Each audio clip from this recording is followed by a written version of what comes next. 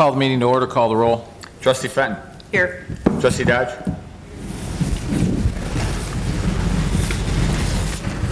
Trustee Calandriello. Here. Trustee Healy. Here. Trustee Katsenes. Here. Trustee Milani. Here. Mayor Pekau. Here. Please rise for the pledge. I pledge allegiance to the flag of the United States of America and to the republic for which it stands, one nation, under God, indivisible, with liberty justice for all. There's an echo back there.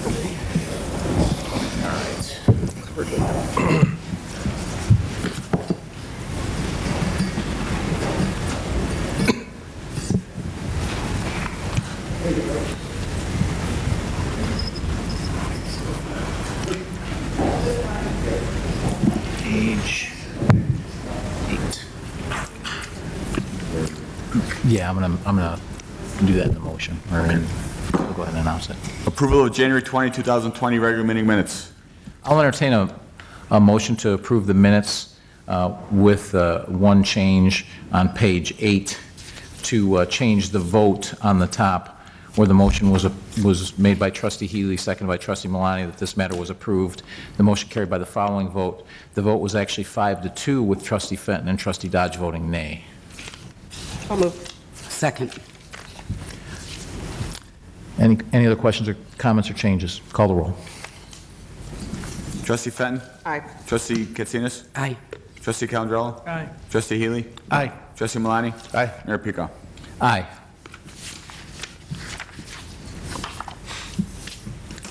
Proclamation honoring Orland Park Bakery as Orland Park Business of the Month, February 2020. George, could you give me the proclamation, please?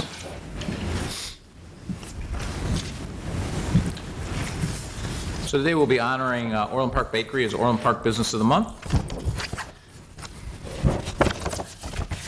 A proclamation honoring Orland Park Bakery as Orland Park's Business of the Month, whereas Orland Park's, Orland Park Bakery first opened in 1970 by John Guba and was located in Orland Park as part of the Orland Park Plaza at 143rd Street and LaGrange Road, where UIC's parking lot is now located. And whereas in 2003, Orland Park Bakery was acquired by Tom Major with the help of his mother Kathleen and sisters Amy and Jenny during the holidays, and whereas in 2008, Tom Major welcomed his brother Dan Major to join in on the business, the family business fund, and whereas prior to acquiring Orland Park Bakery, Tom owned a landscaping business and Dan worked for a technology consulting firm.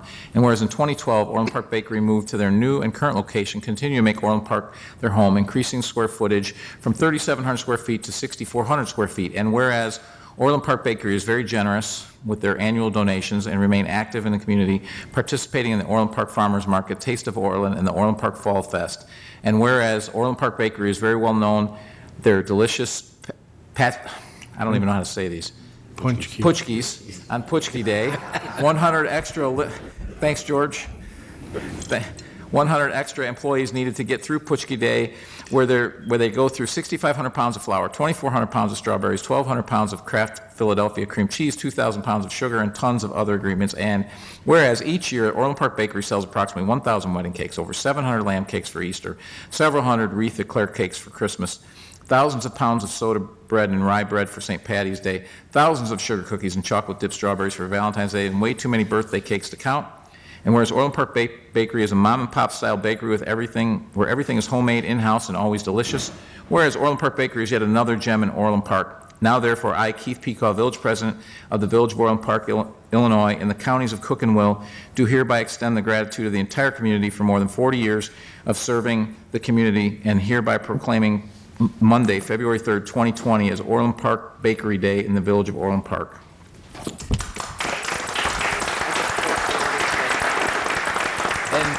And I'd like to tell a, a little personal story. So, from the time I was five years old, I was actually sent up, because I, lived on Jefferson over here, I was sent up a block to walk across 143rd and go pick up fresh bread. And uh, I know they say there's no such thing greater than sliced bread, but to a five year old, there's nothing more interesting than the, the, the bread slicing machine. And uh, also Sunday donuts, as, as long as I can remember. So uh, since 1970, I'm pretty sure my family has been uh, um, a customer of Orland Park Bakery. I'm sure there's other stories here on the board floor as well.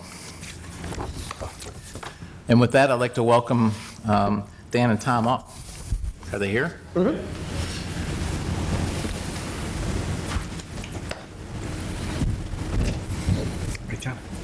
Right there. I just placed an order. Three coffee cakes. Yeah, you should have brought cookies. They are cousins of my son, Oh, really? Collins uh, Fitzgerald.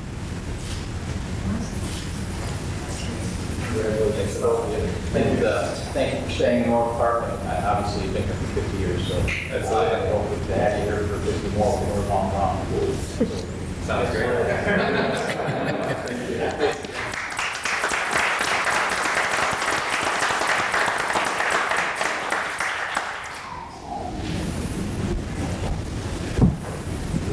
Does anybody have anything else to add? I just placed an order today for three coffee cakes for Wednesday.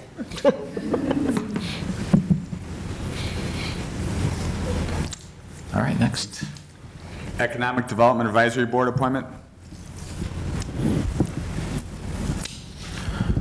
Mr. Mayor, Trustee Katsenes? I move to advise and consent the appointment of Matthew Ward to the Economic Development Advisory Board. Second. And before we vote, just so that everyone knows, we have several appointments, and rather than go through and come down and, and uh, swear each person in individually, we're going to swear you in as, as a group, just uh, so that you guys can move, move on with uh, your night and not watch the, the parade of people getting uh, appointed to these boards. With that, call the roll. Trustee Katsenes. Aye. Trustee Milani. Aye. Trustee Fenton. Aye. Trustee Calandriello. Aye. Trustee Healy. Aye. Mayor Pekau. Aye. Recreation Advisory Board appointment. Mr. Mayor, Trustee Katsenes? I move to advise and consent the appointment of Eric Berry, Aaron, I'm sorry, Aaron Berry to the Recreation Advisory Board. Second. All in favor signify by voting aye. Aye. Aye. All opposed?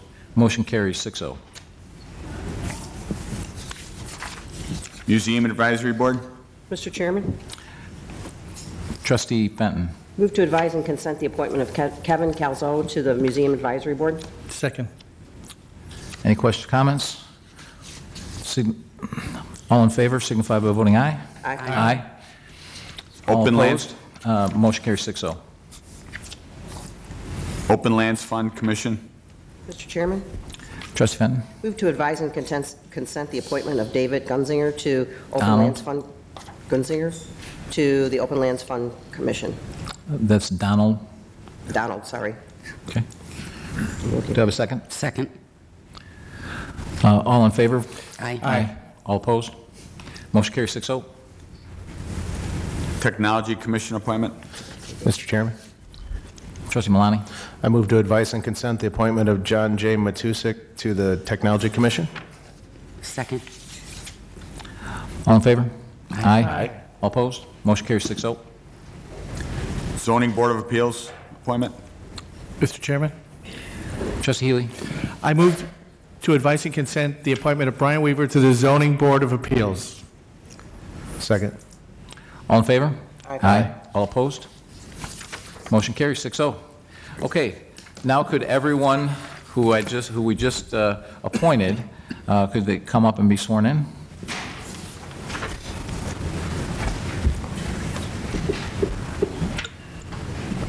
I'm going to make it a little easier for you with cheat sheets, so.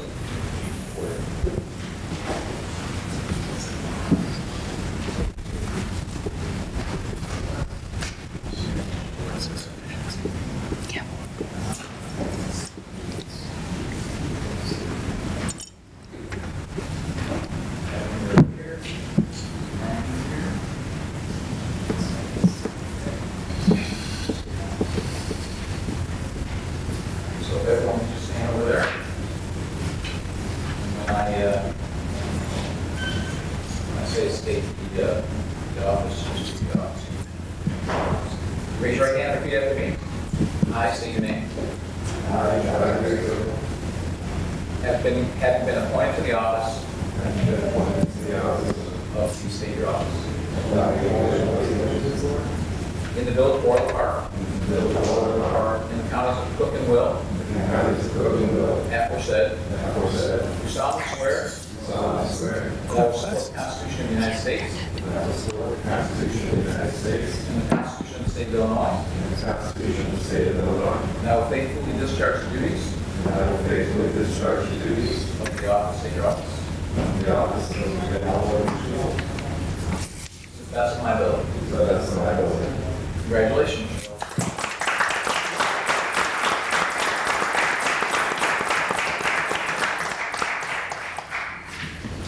And there's, um, signs.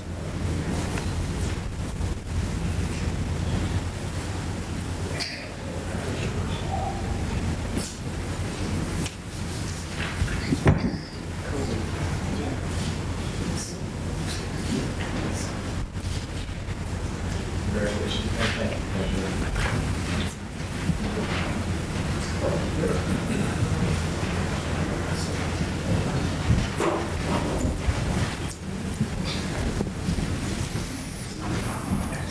you. I want to thank all of you uh, for stepping up to serve on, on the commissions, which uh, uh, play an important role um, in, in providing the uh, village input, and some of the commissions are actually uh, legally required by law, so thank you very much.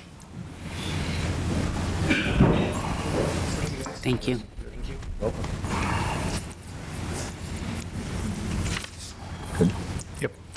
Accounts payable from January 21st, 2020 to February 3rd, 2020.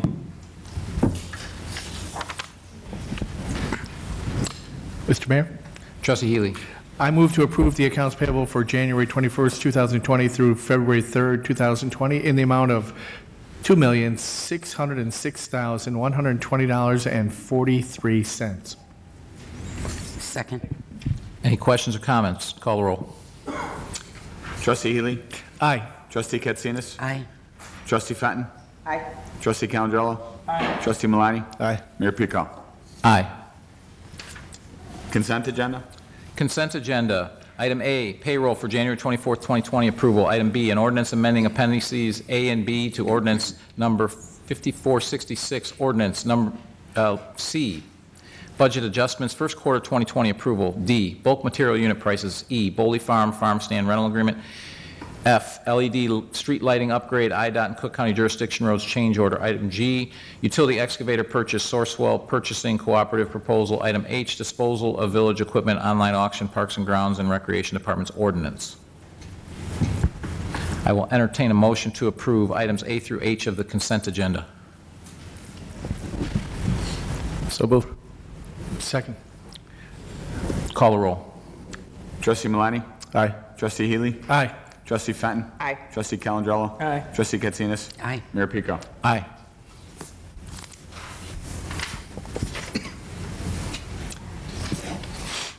Sensus, Sensus water meter conversion program. Mr. Chairman, Trustee Fenton. move to approve authorizing the purchase of Sensus water meter-related products, including Sensus iPERL meters from Core and Main of Moqu- Mokena, Illinois, in an amount not to exceed the Board of Budget, approved budget amount of $390,000. Second. Second. Any questions or comments? Um, The only question I have here, George, is this is a budgeted amount, so we purchase whatever we can up to that budget amount since we have to change over everything. Is that correct? That's correct, and and if Rich can just provide a little bit of a a history of this program. Sure. This is, uh, started, the current program is started back in 2013. Uh, Most of the efforts uh, to this point have been uh, to convert to uh, smart point transmitters, which uh, allow staff the ability to to read meters from, uh, from the office. Um, We're now kind of switching over to uh, wholesale uh, replacement of the existing meters to the new iPERL meters, um, which are uh, considerably more accurate than the ones we use now. Okay, sounds good. Are those new microphones? Nope, Oh, turn off, but now they work. okay. Any other questions? Call the roll. Trustee Fenton.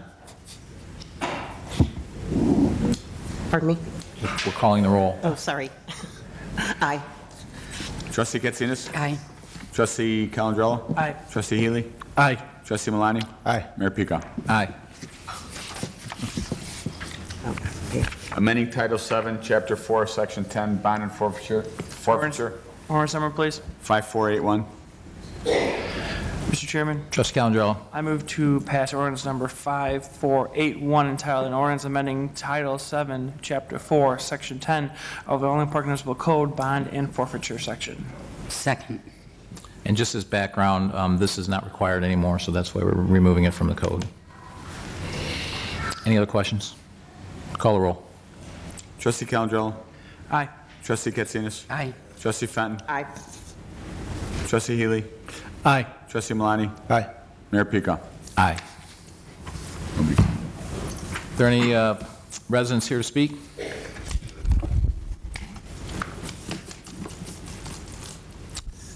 Okay, board comments. Oh, Over here, I assume? yes. Uh, We, if you could give us your name and and uh, your address? Sure, my name is Matt Lulich. I live at uh, 14429 88th Avenue, Maycliff subdivision, uh, for about 40 years now. Um, I've been excited to see that there are some uh, plans uh, apparently in the offing for Schussler Park. I've followed it fairly closely, although I, one thing that does concern me is I've not heard anything about whether there's going to be any adver- ad, um, uh, interest and uh, uh, uh, surveys uh, among the neighborhood to see what the plans are for the park. Uh, Maybe those have been undertaken and I don't know about them, but um, so far I've not heard anything other than there was a proposal to use the park for the Pioneers Program, which um, I think is not a, a correct use for that neighborhood park, although I understand that maybe that's gone by the boards now. But I would like to know whether there's going to be input from the residents on what the plans are for the park, in that I understand that um, uh, park is supposed to be done next year. It would seem to me that um, landscape architects, things of that nature, uh, need to be retained, and uh, planning needs to be done for that type of endeavor. So just curious as to what's on the boards about that. So I'll, I'll quickly answer that. Um, So in the budget this year is master planning for both uh, Schussler Park and Centennial Park, which includes the landscape architect and with a master plan, and that will also include engaging neighborhood residents and as well as the whole village, because it's not just the neighborhood that's infected, it's the whole village. So that's, uh, and that currently is either out for RFP or being, the RFP is being developed um, to go out for that right now, and that will be done this year. And uh, the board has committed to um, doing the uh, reconstruction of Schussler Park in one season uh, in 2021, as opposed to five years, which was in the long-term capital budget. So that's what we agreed to in the capital budget plan, which we'll, we'll have a capital budget. Um, th- those meetings won't start until, what, August of this year, but by that time, the master plan should be, should be done or near completion, and we should have a plan. So the master plan for August of this year? Master plan is going to be done as soon as we get the RFP out and we choose the master planning, and then part of that will be to engage residents.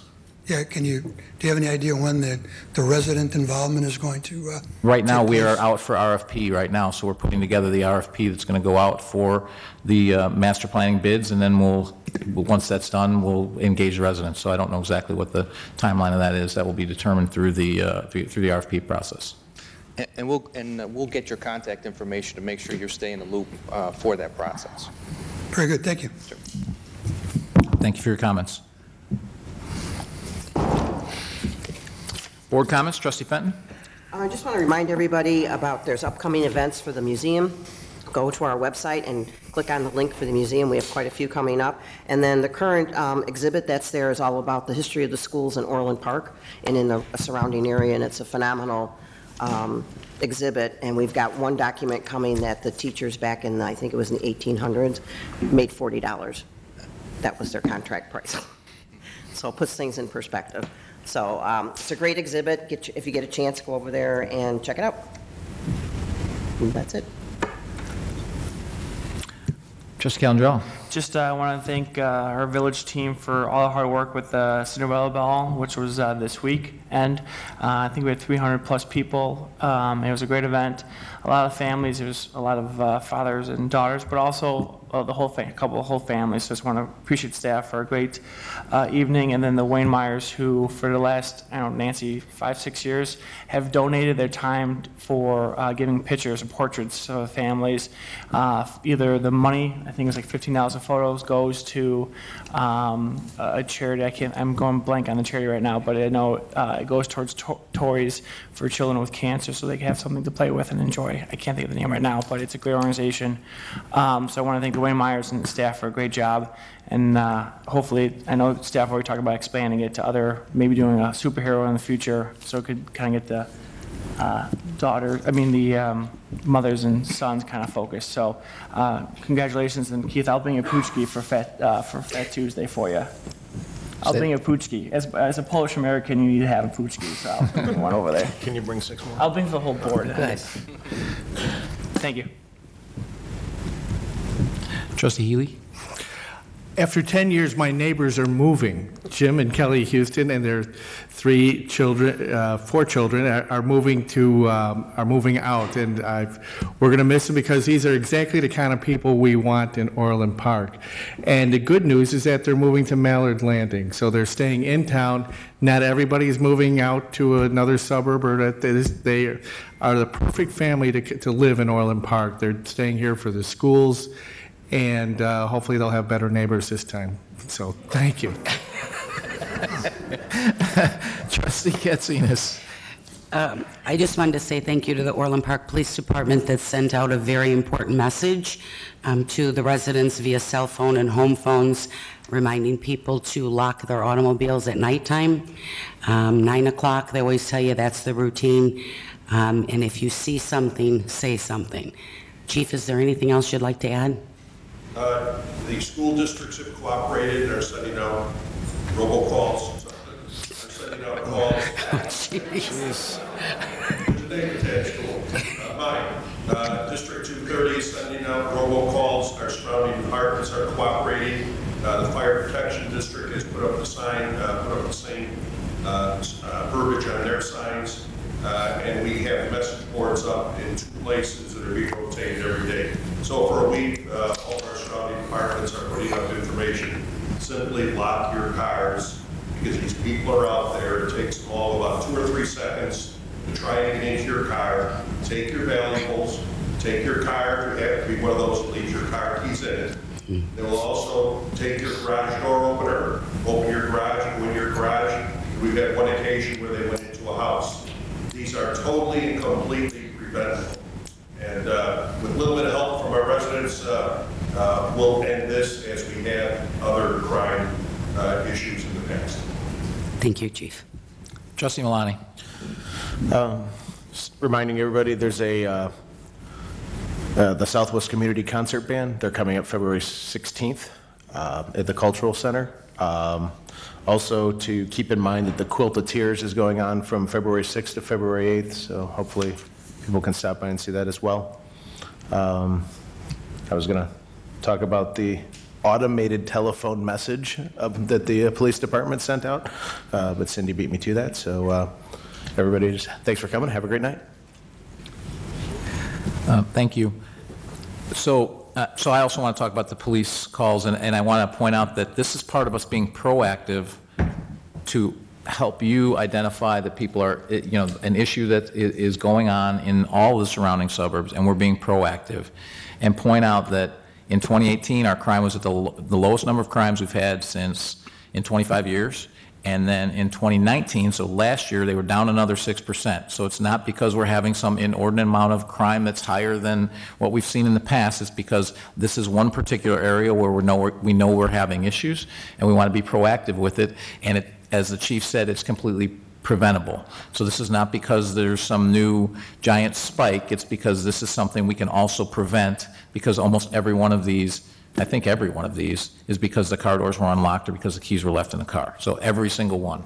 And uh, we have a couple of high-profile people that have had two cars stolen from their driveway or one car stolen from their driveway um, because they'll, they'll come back. If you're dumb enough to do it once, they'll leap, they'll come back a second time. So lock your vehicles. And again, you know, we're, we're this is part of our police department doing what it takes to keep our crime low, which is what we've done, and all the surrounding communities are now following our lead and being proactive like this, which will help drive these people out. Um, Also, I want to thank our Recreation Department for all the work they do. The Cinderella's Ball was great, and then everything else that we've got going on. We heard a comment tonight from Mr. Lulich about uh, Park. Uh, You know, thanks to the board for committing to, uh, you know, fixing all these parks. The money that we've put into John Humphrey, about uh, $2.6 million, I think, in total to renovate that. Next to Schussler, then next to Centennial of our major parks, while still investing. I think we're going into 19 parks this year uh, as far as uh, um, doing some refurbishment in 19 different parks this year. So um, the, the the department does a great job, our grounds department does a great job, and the board is committed to getting all these uh, parks, catching up on some of the capital needs that we have. So great job on that. Uh, Also want to thank Public Works for all their work with snow plowing, salting, and all of that. Um, Knock on wood, it's been a fairly uh, calm year. Hopefully, it stays that way, and uh, hopefully I didn't just jinx it. Um, So, uh, thank you all for coming out tonight, and uh, I think it's almost a record, 27 minutes uh, in the last two and a half years. So, uh, with that, I'll take a motion to uh, go into executive session. Oh, and uh, Orland Park Bakery left some treats in the back for everyone, so you should help yourselves. Mr. Chairman, Trustee Fenton?